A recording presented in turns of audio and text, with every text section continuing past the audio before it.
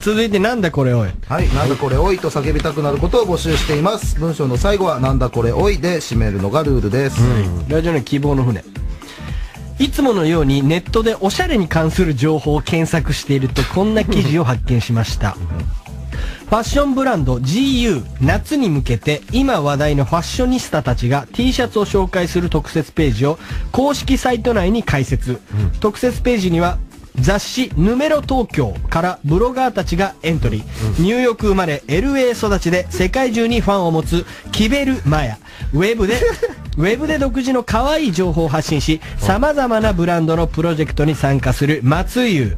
撮影した画像を共有する SNS、インスタグラム界のアイドル、メグベイビー。誰だてめえらぬるぬる東京だか、シェケナベイビーだかなんだか知らないけどな、ブログだの、なんかインスタグラムだの、どんどん多様化してきやがってよ、攻めるポイントが絞りにくいんだよ。陰口叩く方の身にもなれや。このインターネット中毒者ども。俺みてえな悪臭ゴミ虫メンズはな、脱がせねえ女の名前は覚えられないから、今すぐてめえらのおっぱいインスタグラムをネット上に放り出せ。なんだこれ、おい。はい。いやー、頭の文章一個も入ってこなかった入ってこないな確かにわかんなかった何言ってんのファッショニスタ。ファッショニスタってなんですかねまあ、ファッション、ファンのファンタジスタってことですかね。ファッションのファンタジスファッション界のファンタジスタですかタ。もう全くわかんないな。レディー・ガガみたいな。だからこんなの、うん。言葉なんていくらでも勝手にうん考えていいってことなんだよ。はいはいはうん。肩書きも。そうだよ。うん。全然わかんないもんね。西織はもうあれだよ。あのー、神様、神様ご飯だよ。もう、俺からしたら。神様のご飯。神様ご飯。なぜ神様ご飯いいんだよ、だから何でも。何でもいいんだって。何でもいいですけど、理由くれますよ。なんでお前神様ご飯なんでもいいのよ、別にだから。いや、おしゃれってことよ。神様ご飯だもん。え、でも神様ご飯は俺、おしゃれって意味でだった神様ご飯。ないでしょ我がなんてお尻北海道だよ。ななんなんすか、お尻北海道。おしゃれってことだよ。おしゃれなのか。誰も持ってくんねえよ。ファッショニスタってなんだよファッションがあるからまだおしゃれだけど。俺神様ご飯やだな。なんだ、お尻北海道。でもこれだってこれに載ってるやだってあれだぜ。ファッションブランド GU が夏に向けて神様ご飯のファッショニスタたちが T シャツを、えー北海道お尻北海道する公式サイト内に開設 ヌメロ東京からおしゃれお尻東京だな北海道たちが、えー神様ご飯。一緒だろな言ってること。入ってくる率は一緒。でも神様ご飯。うん。なんで神様ご飯なんだろう。な。ラジオネーム三平。破産して一文なしになった首なし豆タンクこと与沢翼さんが破産の1ヶ月ほど前に受けた性に関してのウェブインタビューで初体験は11歳。ポコチンは15センチ。青缶大好き。セックスした女だけを入社させる。などと自慢した挙句女を活かせるコツを語ってやがりました、前儀じゃなくて腰で行かせられますよ。行かせるコツは、とりあえずフル勃起して、その状況に鬼興奮して、獣のようにやってあげることです。最初は相手の反応を見ながら体位を変えてあげて、女の子がよがってきたら、フル勃起で鬼動くって感じですね。嘘つけ！お前童貞だろ！鬼みっともねえチビデブが妄想でセックス語るんじゃねえ！気持ち悪い。汚ねえドッジボールみたいな面しやがってよ。金も首もねえヒルズ族とかマジで最低だわ。お前の周りに群がってたゲッセクソバカ野郎どもかき集めてな。マキチの草むしりでもしてこい！なんだよこれおい。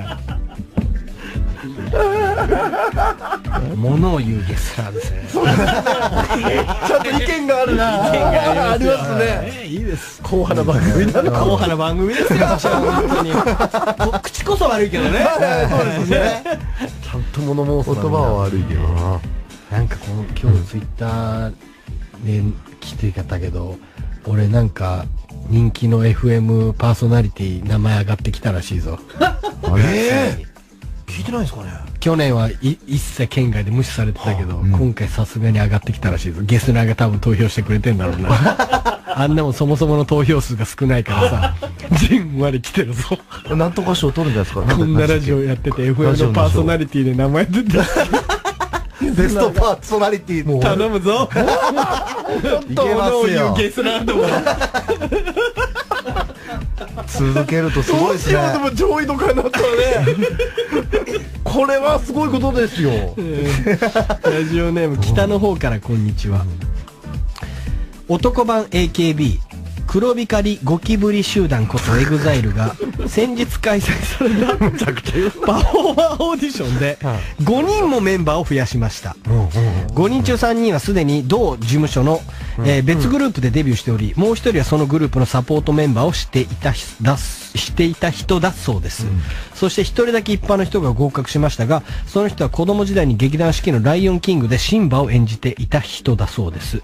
おい黒光りゴリラヒロ何が夢を叶えるチャンスは誰にでもありますだ。全員ほぼプロ入れてんじゃねえかよ、一般人の夢叶えてくれるんじゃねえのか、5人中4人も身内入れやがってよ。身内入れるんだったらな初めから事務所内でオーディションして決めやがれ。オーディションの意味ねえだろ、グループとグループの掛け持ちってまだ大した人気がねえくせに中途半端なことしてんじゃねえよ、あと何を増やすつもりだ？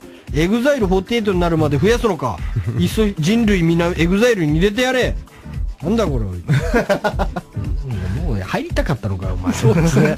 悔しいんですよ。これちょっと物を言うゲスナではないな。線引きが。俺も俺この質問には答えたツイッターで。いっぱい増えてますよってもう人類みんな世界中の人がみんなエグザイルになっていいなと思ってるよつって。ピースな考えですね。平和だな。えー、ラストぐらいにしようかな、うん。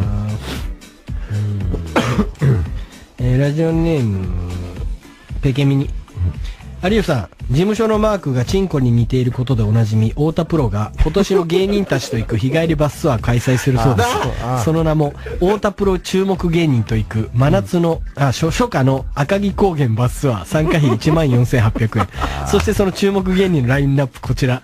アルコ&ピース風藤松原マシンガンズ新宿カウボーイトップリードサイクロン Z おいポコチン事務所！何が注目芸人だ！アルピー以外完全に終わってるクソ芸人じゃねえか風藤松原なんかこの番組ですら出禁食らってるしな。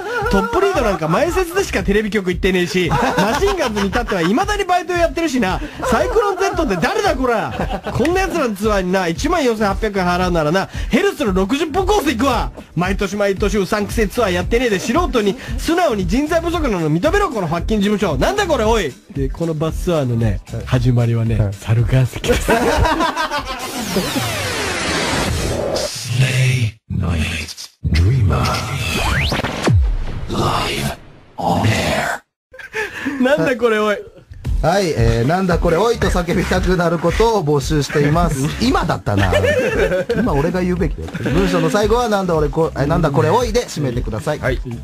ラジオネーム三平20年の歴史に終止符を打つクソギャル雑誌エッグについて有名カリスマモデルの方々が続々とコメントを寄せてらっしゃいました。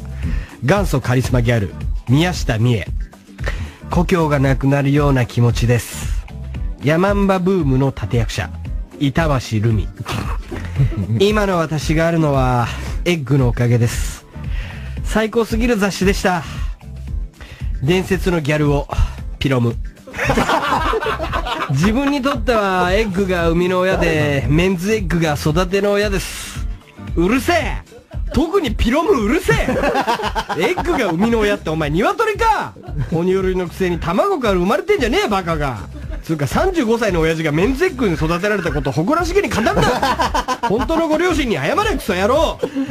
なんだこれおいピロも面白いな 伝説のギャル男なんですね。ま あピロムと僕一緒に仕事したことありますけどね、えー、そうなうんん、なんか、お調子の人。ああ、まあまあまおあ。調子者。伝説のギャル男ですもんね。これが伝説のギャルなんだ、みたいな人だったけど。ラジオネーム希望の船。有吉さん、地球上に唯一現存する本物のファッショニスタこと、ドン小西さんが、週刊朝日にて、先日来日したオバマ大統領のファッションチェックをしてやがりました。もうちょっと服に愛想があってもいいよね。スーツの命と言えるサイズが合ってない。ズボンも大きいし長いし、肩だって広すぎる。シワが紙のようにバリバリじゃん。たった今買った量販店の吊るしスーツを着てきましたって感じだよな。うるせえド派手な服着た顔がでかいだけのジジイごときが何一国の大統領に物申してんだこら。こっちにはな、ノッチっていう内通者がいるんだぞ。このことをオバマにチクったらな、てめんちパトリオットミサイルで粉々にされるぞ。それが嫌ならな、最近巷にはびこってるエソファッショニス、エセファッショニスタどもを、越野純子とかいうゴリラ引き連れて、一匹残らず駆逐してこい。なんだこれ、おい。ファッショニスタ。ファッショニスタファ。ッショニスタっていう言葉があるのね。ね何でもいいなしてるな。だから、ど、誰なんだろうな、最初な。おすぎさんとか、ピーコさんかな、ファッションチェックな。多分な。始めたのはねはいそこから始まってもう今、誰でも彼でもやってんな。なんか、大体やってんのはドンコにしともう一人、あの、あの、あれだろう、ちょっとお姉系の、お化粧の人だろ？あのー、ハートのステッキ持ってるような、ね。えーお姉マンズやってたな。あやってましたね名前も出てこねえおじさんだよな。結構いますよね。2、3人いますよね。そのお姉系のね。昔は清彦さんとか着物の人とかやってたりな。やってたけどな。あんなもんのほん、どうなんだろうな。まあでも、そうか、みんなファッション界では有名な人か、一応。まあそうなんでしょうそうね。作る側とか。だけどさ、そういう意味ではさ、なんかあのあれだよな、お笑いのことも、ああやって、街、お笑い、本当のさ、ファッションのすごい人ってさ、あんなもんに出て街行く人のファッション注意しないじゃん、一流の人は。だからもうあの人たちは三流の三流なんだろうな。いや、まあ、うん、いや、もうすげえ締めになっちゃった。そんなことないと思いますけどね。ええ締めとんでもねえ悪口だったよ。うんとしか言えなかったですね。ラジオネームチェーンギャング。いや、おもうあの人たちは俺の悪口なんてもう意に介さないよ。超一流のファッションの人たちなんだから。ファッショニスタどもなんだから。ど ファッショニスタどもがよ。いやーよかった。フォローできましたね。ラジオネームチェーンギャング。有吉さん、ウィッシュって言っている大悟をご存知でしょうか？そいつが大阪で行われたトークイベントで、加納栄子を攻撃していました。例えば憧れの人に会うため誰かを利用するとか、そういう人にはならないようにしたいと思います。このコメントの理由は、大悟と加納が講師にわたる親友だったらしいのですが、加納の当時の目的は憧れのラルクのハイドに近づくことで、目的を果たした後は用済みになったからのようです。おい、ハゲお前自分のじいさん竹下首相を利用しといてここまでのし上がったんじゃねえのか。小沢一郎の玉金舐めた俺と加納と千鳥の大悟に謝罪しろ。なんだこれおい何で。すか小沢一郎の気持ちが焦っちゃって文章がめちゃくちゃだった。相当怒りは伝わってきますけどね。なんかやってましたね。ラジオネーム満腹亭稲荷クソつまんねえゴーストライダーしクソつまんねえゴーストライター集団800人を率いる三谷幸喜のメガネザルが 2016年の大河ドラマの脚本を手掛けるらしく舞台は戦国時代にするそうです。おいブクブク太って太鼓も叩けねえ食い倒れ人形。お前ついにサンドリに喧嘩をふっかけてきやがったなゲスナーからの散々たる罵倒に耐えかねてついに NHK という兵を率いて乱世の日曜8時に攻め込んできやがるわけだ。だがな一つお前に教えといてやろう。2年後にこのラジオがまだやってるとは限りませんから。残念 せいぜいまたいつものように素人に、いつものような素人に毛が生えたような脚本で金稼いで、もたいまさこにの美人でも抱いてろギリなんだこれ置いて。なんで、旗よくに送れよ。そうか、三谷さんやんのやるんですね。ちょっと楽し2み。年後っつったら俺もうだい、まあ、や約42だから、どうやってっかな、ギリかやってねえか？どうだ？やってるでしょ。いや、ラやラジオこのラジオやってんじゃないですか？42で拷問だ。リオちゃんお母さんだ。いやそうであってほしいですよ、やっぱり。やってんじゃないですか？39でそれやってるのもやばいからね。じゃあ42でもやってますよ。ラジオネーム股関節痛。えなりピン子の、えなりとピン子の飼い主、橋田壽賀子が、放送文化に貢献したテレビ番組や個人に贈る第22回橋田賞の表彰式が行われ、昨年の NHK 連続テレビ小テレビ小説、あまちゃんが橋田賞を、主演の能年玲奈が橋田賞新人賞を受賞しましたが、橋田自身はあまちゃんを見たことがない。あ、ごめんなさい。あんまちゃんの見たことがない。と、抜かしてやがりました。おい、橋田の周りの大人たち、橋田先生の錆びついたネームバリューを利用したいのはわかるけど、しっかり口止めしとけよそれとも口止めされたけど忘れちゃったのか？だったらごめんな、おばあちゃん。そして、のーねんちゃん唯一の代表作を見たことないなんて言われて傷ついたろかわいそうに。うん、かわいそう。そんなのーねんちゃんを励ますために、アマちゃんにちなんで、海鮮料理を用意したぞ。食材は俺が提供する、程よく縮れたわかめ。そこから、ひょっこり顔を覗かせる極太の穴子。その脇に二つ並ぶウニ。お醤油かけて、さあかぶりつけなんだこれおい、おめえだよ。いい作戦だな。かかりますよ。どうしようもない。あげとこう。おうん。えー、時間あるかないいかな以上はい、続いてなんだこれおい。はい、なんだこれおいと叫びたくなることを募集しています。文章の最後は、なんだこれおいで締めてください。はい。えー、ラジオネーム三平。ブラウンスケルトンこと、リカコさんの野郎が、ささやかな素晴らしい小さな幸せという素敵なタイトルで、くだらないブログ記事を書いてやがりました。またまた庭のバラが可愛く咲いてくれたので、1階のゲストのトイレに飾ってみた。トイレにもお気に入りを飾ること、大事だよね。大事じゃねえわ 汚ねえ便所に飾られるバラの気持ち考えろだいたいクソしながらバラなんか見ねえしクソまみれの便所に飾っていいのは C 級グラビアアイドルのポスターだけなんだよ具体的にはな、手島優と小坂ゆっかと小野真由美な。それ以外のポスターは便所じゃなくて部屋に貼れなんだこれおい。なんなんだよ。絶対怒りたくて見てんもんな、ブログ。だろうな、これは。俺は、相川翔さん家ではい。バーベキューパーティーしてて、ほう。リカ、リカコさんち隣なのよ、相川翔さんち。ええ。そうなんですね。リカコさんちの敷地の方に七面鳥逃がしたことある。どういういたずらなので、大騒ぎしたら、リカコさんが窓から何？っつって。七面鳥逃がしましたっつって。ぐらいとったよ。ラジオネームたまたま進歩。人気、ハゲブロガー、市川海老蔵さんが、自身のブログで、もしかして見ちゃった？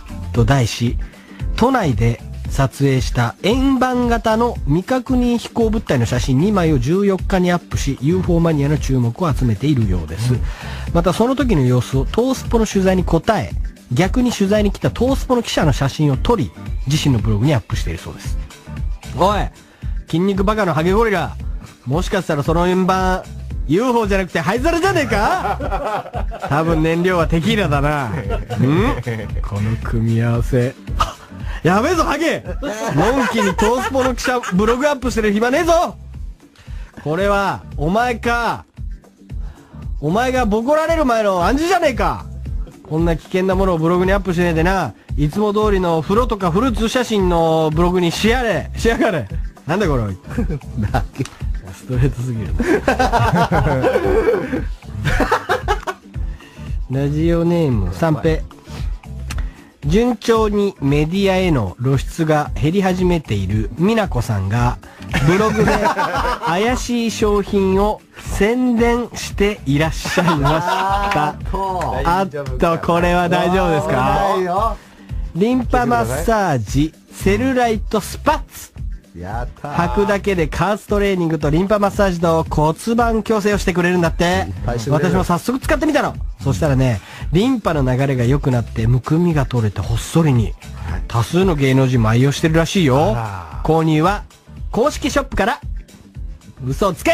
スパッと履いただけでお前の豚足がほっそりするわけねえだろ念のため公式ショップのホームページ覗いてみたけどよ。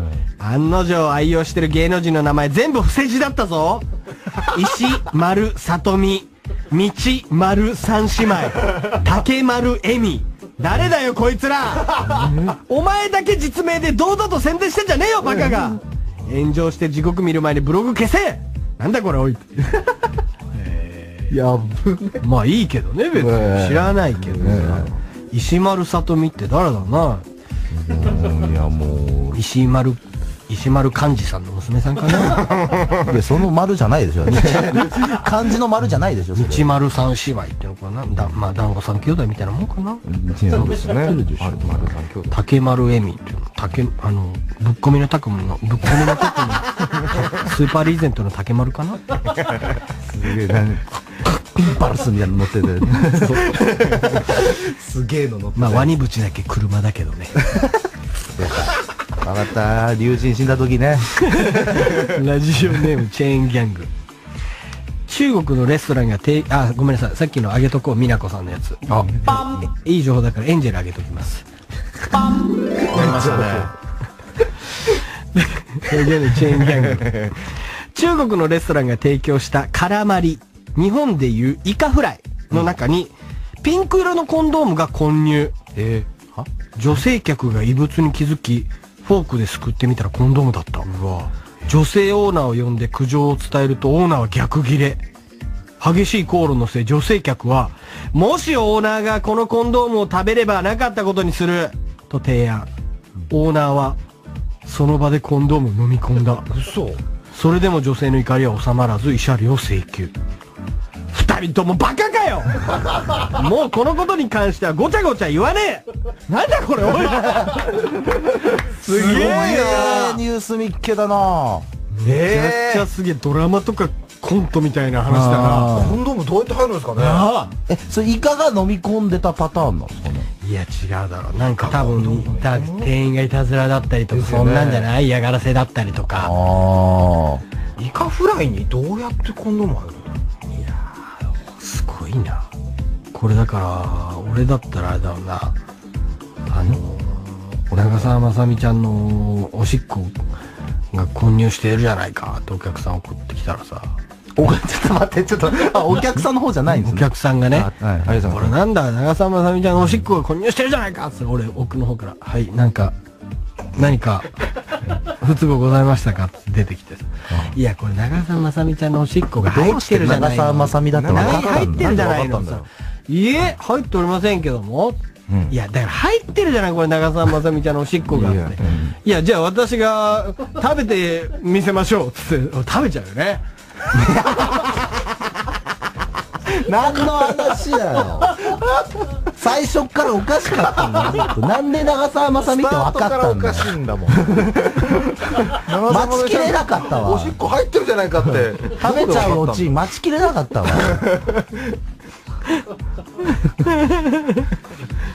えー、ラジオネームベネットは静かに暮らしたい有吉さん九州のゼニゲバグマことゆるキャラくまモンが召喚周年ジャンプ召喚周習慣。召喚。習慣習慣生活習慣病。習慣週刊少年ジャンプに掲載された読み切り漫画「くまモンじゃないやつ物語」に無断掲載されたとして集英社のジャンプ編集部を直々に訪れ編集部抗議していました、って言うけどよ新聞がクソ真面目に取り上げてたから慌ててジャンプのホームページのお詫び文を見に行ったら超和やかな雰囲気じゃねえか編集部と熊が和気あいあいとじゃれ合ってて、おまけにお詫び文の最後の方で笑顔で集合写真撮り合ったり、しまいには、ここにお詫びしますもん、だと、全然新聞の記事と雰囲気全然違うじゃないか。全く集英社は、集英社も熊もおめでたい奴らだな。熊もそんなところで油売ってないで、とっとと俺たちに良質な熊本高級サブの情報を教えろケツの穴にからしれっこを突っ込んで待ってるからな。なんだこれ。うん。ちょっとろ、うん。もっとはっきりしてほしいな。何？論点をですか？ねえ、以上。ありました。はい。続いて、なんでこれおい？なんだこれおいと叫びたくなることを募集しています。文章の最後はなんだこれおいで締めてください。はい。はい。えー、ラジオネーム夜嫌いの夜行性。佐恵子予備軍こと安田美沙子の野郎が3月に入籍したイケメンファッションデザイナーの下鳥直之氏との結婚生活をこう語ってやがりました。私から喧嘩は売るけど彼は買わない。家出しても探してくれないので玄関を出ても1分で諦めて帰ってくる。昨日まで私は仕事でハワイだったが、帰ってきてすぐに合流してバスケの試合を一緒に見に行った。夫婦生活は順調です。うるせえ自慢うるせえわなんか嫌味も相変わらずだけど、ペラペラペラペラ相変わらず八つ橋みてえな薄いコメントしやがって、もっと正直にお金があるから幸せですって言えん？語尾に全部お金があるからですってつけたらしっくりくるぞ 私から喧嘩売るけど、彼は買わない。お金があるからです。家出しても探してくれないので、玄関を出ても1分で諦めて帰ってくる。お金があるからです。昨日まで私は仕事でハワイだったが、帰ってきてすぐに合流してバスケの試合を一緒に見に行った。夫婦生活順調です。お金があるからです。そうだ、見ろこっちの方がお前らしくて全部自然じゃねえかはっきりとお金があるから幸せですって付け足してこれからコメントしやがれさて、お前らもいつまで続くか楽しみにしてるからな。なんだこれ、おい。いいですね。いいですね。いい発想です素敵な。やっぱりこれもうそろそろまたなんだこれおいのコーナーあれ戻します？あいつこんなこと言って、あいつこんなこと言ってやがりましたに変え、また戻そう情か報がいいですもんね。な。なんだこれおいの邪魔になってきたんですよあいつこんなこと言ってやがりました。リターンズかな。戻しましょう。そろそろまあ6月になりますし、新しいのも。あげとこうか、今の。はい。は素敵なメールありがとうございます。い。ラジオの三平。ワールドカップ間近ということで、ハイパーメディアオラウータンこと、北沢剛さんの動向をネットで調べていたところ、おしゃれな洋服屋のブラブログがヒットし、頭にグラサンを乗っけた北沢の写真とともにこんな記事が書かれていました。5月9日、本日は北沢剛様がご来店されました。1994年にはベストジーニストにも選ばれているほどおしゃれな方です。引退されてもなお、ボディは現役のような肉体美。太もものサイズが半端なく太く、ウエストは絞り込まれているようです。このシャツはストレッチが効いているからぴったりめの方がかっこよく着こなせるね。と、鋭くポイントをついてくださいました。おい、北沢。てめえ何やってんだよ !4 年に一度のワールドカップイヤーだぞ。シャツの着こなしポイント解説してる場合か。働け。あといい加減髪切れ。ちょっとハゲてんじゃねえか。なんだこれおい。ちょっとハゲ、ちょっとハゲてるのはずっとですけどね。あれもキープしてんですね。わかんないですけどね。うん北沢さんな。なんか、あれだな、微妙なとこだな、ああいうのって。うん。おしゃれなのか、どうなのかとかさ、このゴリラがおしゃれ語ってんのダサいよなって思ったりさ、まあゴリラだから許してやるかとかさ、難しい。ファッションは難しいよね。そうですね。なんか、超有名デザイナーですとかさ、すげえブランド立ち上げてます。うん俺おしゃれですみたいなやつってさ、大体顔ダサいやつ多いじゃん。顔？がダサい。闇金牛島くんの借金絞り取られるような顔したようなやつがさ、結構なんか、おしゃれで5歳みたいな顔してるの。だから頑張るんでしょうね。だから頑張だな。だから、あれだからどう微妙なとこだなと思うよね。おしゃれ難しいですよおねし。ゃれ難しいな。お金かけてもってところもありますしね。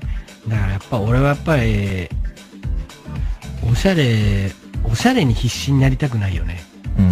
必死になった時点でもうそれはもうただのゴリラだから。ゴリラではない。ラジオネームダッヒー。有吉さん。政府が6月中にまとめる成長戦略に、プロ野球の球団数を現在の12から16に増やすことが盛り込まれる見込みとなり、提言案では本拠地候補として、北信越、静岡、四国、沖縄を挙げている。北信越だっけね。北信越ね。北信越、静岡、四国、沖縄を挙げているとのことが日刊スポーツに書かれていました。おい、マジかよ。なんで俺の地元の静岡が候補に上がってんだよ。第一、今から参入したら戦力的にボロ負けするの目に見えてるわ。ただでさえサッカー弱くなってディスられてんだから勘弁してくれよ。お茶が産地だからアンダーシャツ緑とかみかんのオレンジとかクソだせえし、2ちゃんとかでかもられるからもうマジでやめてくれよな。うん、あーチキショー楽しみじゃねえか。なんでこれ多いということで。すごい。あ静岡は確かに野球よりはサッカーっていうイメージですよね。なでもまあ、戦力が、まあ弱いからと思うけど、イーゴールデンイーグルスはもう優勝しちゃったからね。うんあ楽天。楽天日本一になったからね。はいはいはいはい。そうか。そうですね。四国とか強いっていう。四国は野球、盛んだって。そうだえーね。強いよね。沖縄とかすごいなぁ。沖縄な。沖縄も野球強いからな。まあ留学が多いのか、でも。うん。よくわかんないけど、でもまあ増えるのいいんじゃない？うん。ダメ？僕は全然いい。いいよな別にはいいいと思俺いますよ。別に増えていいと思うけどな、もう。いっつも同じ人たちが野球やってんなっていう感じ。ああ、なるほどね。それはちょっとありますね。同じメンバーがね。プロなんだから。またあの人出てるわ。三平。えー、ちびデブ、あえー、ちびデブ、辻希美さんが、モーニング娘。を卒業する道重さゆみさんに、バカ丸出しのアドバイスを送ってやがりました。えー、ブログやるのはいいと思います。家でもできるし、芸能界の私生活ってブログが一番見えるので、見たいのはそこかなと思います。自分のメンタル部分が強くなるときつい部分はありますけど、応援してくれる人は応援してくれます。クソバカ野郎。頭の中で言葉まとめろ。喋り出してから考えるな。つうか将来有望な後輩に向かってブログで小銭稼ぎなさいじゃねえんだよ。バカが書いたブログをバカが読むだけで金儲けできるクソシステム潰れろ。なんだか 怒ってるな ラジオのメスロ有吉さん忍者になっておしゃれに世界征服を成し遂げたキャリーパンパムのツイッターの国内フォロワーランキングで孫正義氏を抜いて有吉さんに次ぐ2位にまで上り詰めてきやがりました。おいファッションボス頼む。頼むから有吉さんだけは抜かないでくれ有吉さん俺たち童貞引きこもりニート唯一の希望なんだ。これからお前の曲を騒がしい歌なんて罵倒しないしクラスメートのキャリーに憧れてます系ブスにも優しくする。だから有吉さんよりも多くの人にフォローされるのだけは避けてくれないか。有吉さんみんなで1位の座を死守しましょう。なんだこれおいって。俺キャリーに抜かれるの結構ですよ。本当ですか？ねその代わりあっちの方も抜いてもらわないといけませんけどもね。よっ Night Dreamer. Live on air.